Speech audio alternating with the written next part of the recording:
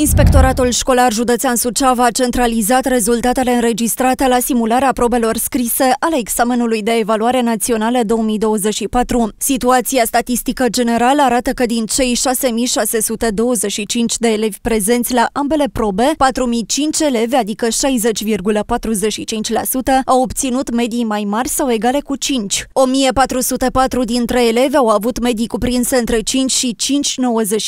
1212 au fost cu medii între 6 și 6,99, 791 cu medii între 7 și 7,99, 469 de elevi cu medii între 8 și 8,99, 129 cu medii cuprinse între 9 și 9,99 și 0 cu media 10. În anul școlar 2022-2023,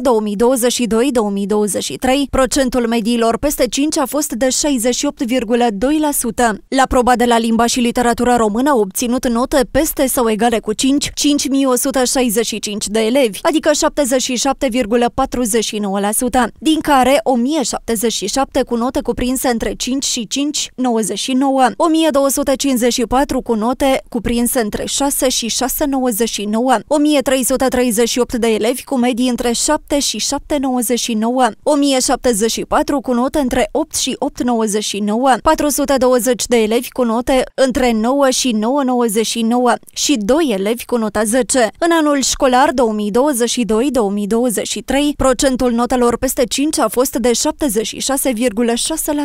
La proba de matematică a obținut note peste sau egale cu 5 2657 de elevi, dintre care 1082 cu note între 5 și 5,99, 693 cu note între 6 și 6,99, 499 de elevi cu note cuprinse între 7 și 7,99, 272 cu note între 8 și 8,89, 108 elevi cu notă între 9 și 9,99 și 3 elevi cu nota 10. În anul școlar 2022-2023,